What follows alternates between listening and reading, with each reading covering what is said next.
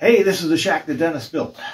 Glad you joined us today. And today we're going to check the heating element on our hot water heater. Doesn't seem like we're getting enough hot water to our tub.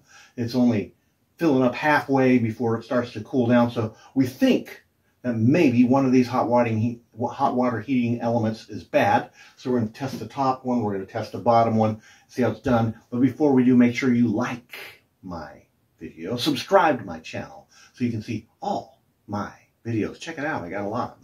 So first thing we're going to do is we're going to turn off the power because this thing's got a little bit of zap going to it. It's a 220 breaker. So we're going to go over here and we're going to go and just happens to be right over here.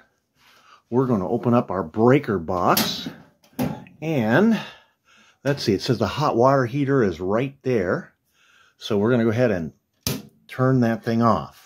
Uh, fortunately, we, you know, we it's it's really well uh, labeled for us. If it isn't well labeled, what you can do is it's always going to be a double breaker. So you can, if you really can't figure out which one, you can kill all the, the double breakers. But, you know, I don't see anywhere else. It says hot water heater there. So that's good news. So we're going to get to work now. So now that we got it off, first thing we're going to do is we're going to take off this top one. And uh, need to get a screwdriver. All right, we'll pop it off. This has to be a regular screwdriver.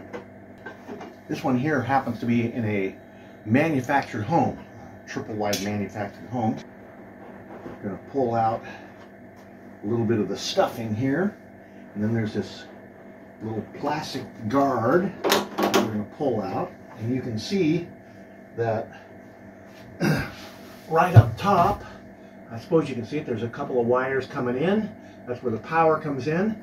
And right down here, that's where the heating element is. We're going to test it for power just to make sure that it's off. All right, so I've got my multimeter here. I've got it to volts, and I'm going to check it to make sure that there's no voltage going through the hot water heater.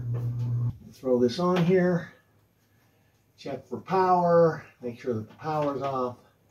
Doesn't matter whether you put the black one on one or the red one on the other. Doesn't make any difference in electrical. And what we see is we got zero. All right, so now we're ready to test the hot water heater element. So what we're going to do is we're going to take these two screws off of here because you, you should test it with it off. I understand you can test it with it on, but it, it may give you a false reading. So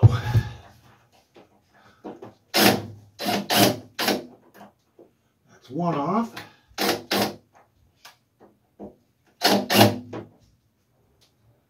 We're going to set our multimeter to ohms. We had we had it set for uh, AC to check see if it had any power to it. Now we're going to go to ohms. So we, we're going to get the little ohm sign over there, and we're going to go and check it. See how that looks. Put one lead on one screw, one lead on the other. All right, so here we got we got 14 ohms. So that that's good. And uh, hot water heater element will usually go anywhere from 12 to, I don't know, 20 something from what I hear. So this one's good. We'll check the other one. Another screw to take off. And we're going to get the old multimeter out again. Oh, look at this. And this one's running 17. Now it's running 23. It's giving us some funky readings. Oh, look at that. Now it's registering 38. So if it's giving you funky readings like that every time I put it on, it changes, that's probably bad. So we're going to go ahead and change that out. So I stopped by my local hardware store, got this new heating element, 4,500 watts down here. Right here, I'll show you what it looks like. They got a little tag that tells you what you're supposed to get, 4,500. And then I bought this element wrench to go with it. I had one, but it, it just didn't work. It was an old one, so this one better work. But look at that, $14.99, $15.99. It cost me as much to buy the, the wrench as it did to buy the uh, heating element. But we'll keep this. We'll make sure we have it for the future. Got the water off. Here we go. We're going to give it a try.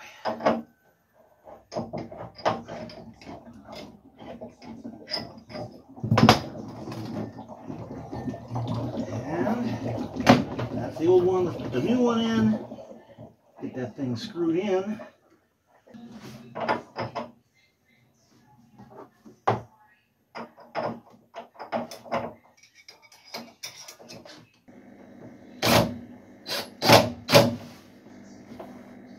Now we'll go turn the water back on.